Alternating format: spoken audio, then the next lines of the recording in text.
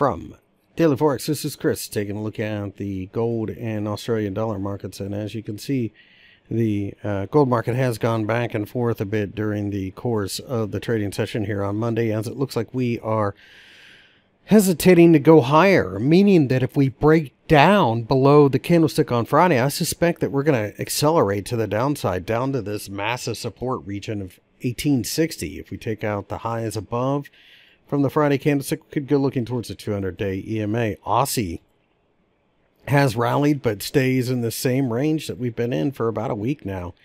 Uh, if we can break 72, then I think we continue the downtrend to 71 and then 70.